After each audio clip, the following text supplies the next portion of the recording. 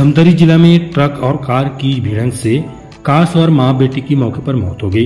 वहीं बेटी गंभीर रूप से घायल है। घायल बेटी की इलाज अस्पताल में चल रहा है। चालक को मामूली चोट आई है। मामला केरे गाँव थाना क्षेत्र का है।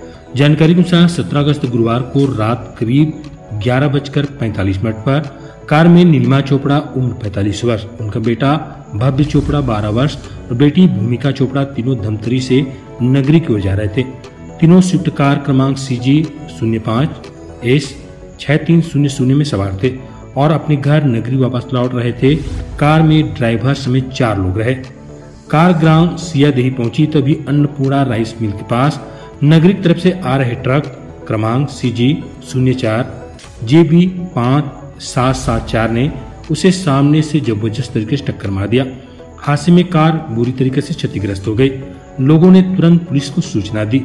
जानकारी मिलने पर मौके पहुँची पुलिस ने कार सवार चारों को बाहर निकाला। हादसे में माँ, नीलमा और बेटे भव्य की मौके पर ही मौत हो गई। पुलिस ने दोनों माँ, बेटे के शव को पोस्टमार्टम में भेज दिया है।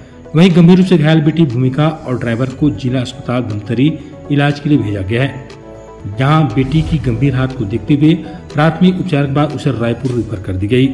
वहीं ड्राइवर को मामूली चोट आई है। केरेगांव थाना प्रभारी एस आई प्रदीप सिंह ने बताया कि हादसे के बाद ट्रक छोड़कर आरोपी ड्राइवर फरार हो गया।